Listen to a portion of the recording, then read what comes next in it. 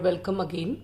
Today we will be solving square root using repeated subtraction method where we just have to keep subtracting from the successive odd numbers uh, the given number which is whose square root is to, is to be calculated. Like uh, if we are asked to find square root of 81 we all know it is uh, 9 right?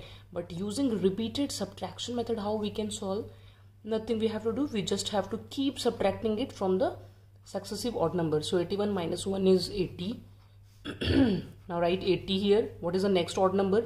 3 80 minus 3 is 77 now write 77 here. What is the next odd number? It is 5 so it is 72 now write 72 here. What is the next odd number? It is 7 now what is the difference between 72 and 7 it is uh, 5 and here it will be 65 now write 65 here and subtract it from the next odd number.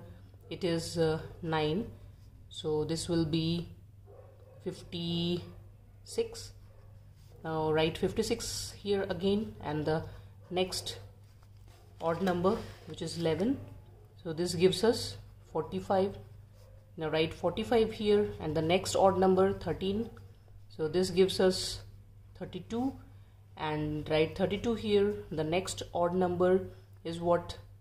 15 um, 10 minus 5 is 5 6 7 and this will be 17 now write 17 here. And the next odd number after 15 is 17 which gives us the result 0 so what does it mean? In how many steps uh, we got this answer as 0 1 2 3 4 5 6 7 8 9 so square root of 81 is 9 thank you and have a nice day